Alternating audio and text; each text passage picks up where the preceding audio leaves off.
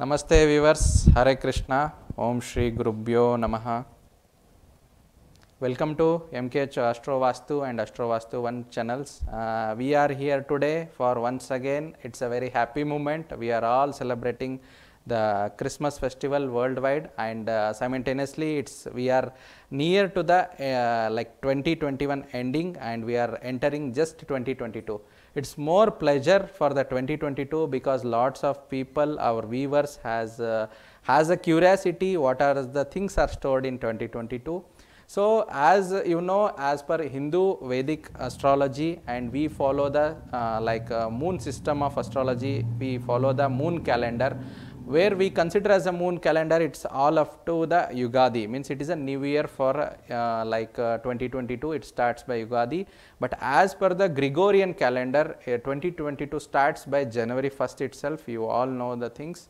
And the main things uh, we are how we are making the analyzation of this uh, new year is the thing like uh, something we are putting the horoscope for the 2022 and we are going through uh, the predictions of the e events worldwide. Later we can go through the individual chandra rashis. So the main thing here 2022 we will put a one kundli of uh, 2022 let's uh, analyze that kundli in detail. When we uh, make a chart at a new year for like a 1 1 2022 uh, that is at uh, 0 0 hours. That is at a Bangalore city where we reside. So, it is falling by the Virgo ascendant that is Kanya Lagna and the Lagna Lord uh, is placed in the fifth house. So, one of the good uh, advantageous uh, thing whenever Lagna Lord placed in fifth and ninth houses. So, here in a third house in a Rashi of uh, Rushika Rashi sign uh, the Mars, Moon and Ketu combination is there. Simultaneously the Sun and Venus is placed in a fourth house and fifth house is a Mercury and Saturn, sixth house is a Jupiter and ninth house is a Rahu. So, these combination indicates uh, one, one sort of the things like uh, major transits are happening in this uh, 2022 year.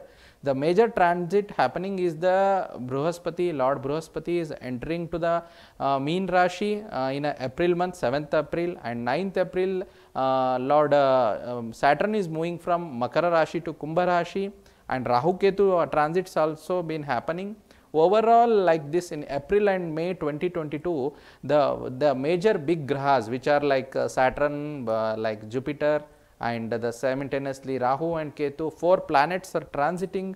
This makes the major changes. Major changes in the event happening worldwide so, first by analyzing the chart which we I was explained to you in a Rushika Rashi the three planets that is the Mars, uh, Moon and Ketu.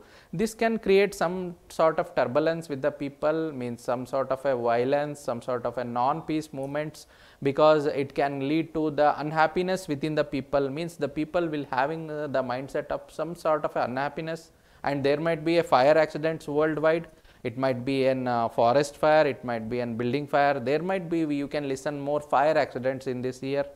And simultaneously the 12th lord uh, and uh, second and uh, ninth lord uh, Venus is placed along with the sun that is in a fourth house. This combination gives some sort of a expenditure for the people. So, uncontrolled expenditure uh, might be for the domestic events and uh, in a Makar Rashi, the Lagna Lord, that Kanya Lagna Lord, Budha is situated with the Lord Shani. So, this is a sort of a thing main important where the fifth Lord is a Purva Punya Sthana.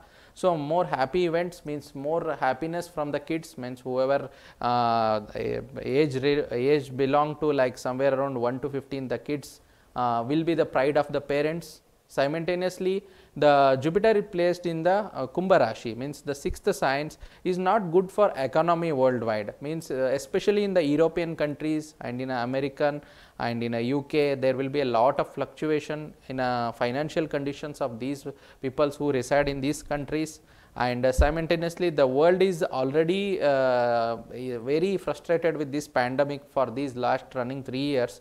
So, again 2022 is not so much excitement, it is also running in the same wave like something in a world related Rahu is placed in a ninth house that is in a Rishabha Rashi, somewhat uh, the related to like something uh, the pandemic will uh, not end, it will like mean simultaneously, but not a more impact compared to the last years.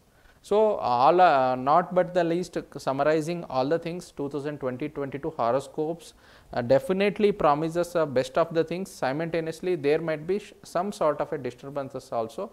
So, we will see in individual Rashi Phala also we will uh, tell you the remedies in those uh, things.